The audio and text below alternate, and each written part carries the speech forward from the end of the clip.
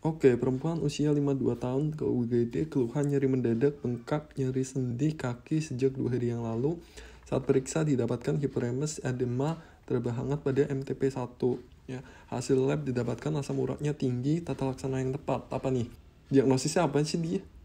Diagnosisnya dia adalah artritis gout ya atau asam urat. Dia nyeri sendi karena kadar asam urat yang tinggi. Dia datang pas keluhannya lagi nyeri ya kalau dia itu datang pas keluhan lagi nyeri, maka pilihan utamanya itu adalah call kisin. Nah, gimana tata laksana algoritmanya? Oke, kayak gini ya.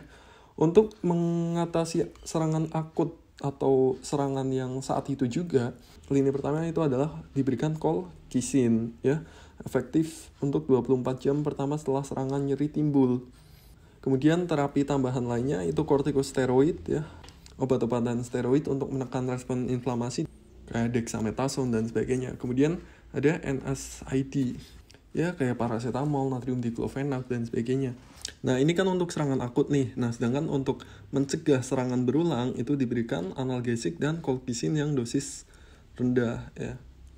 Sedangkan untuk mengelola hiperurisemi supaya dia tidak terjadi komplikasi, diberikan obat penurun asam urat dan juga modifikasi gaya hidup ya kayak makan makanan yang rendah asam urat, diet sehat dan sebagainya. Obat penurun asam urat apa sih? Contohnya para allopurinol ini ya.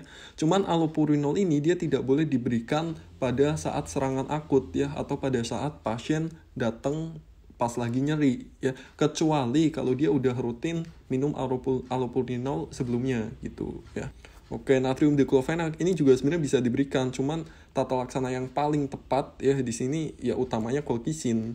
Asam efenamat dia uh, dia diberikan tapi bukan yang paling tepat sama paracetamol juga NSAID. Oke?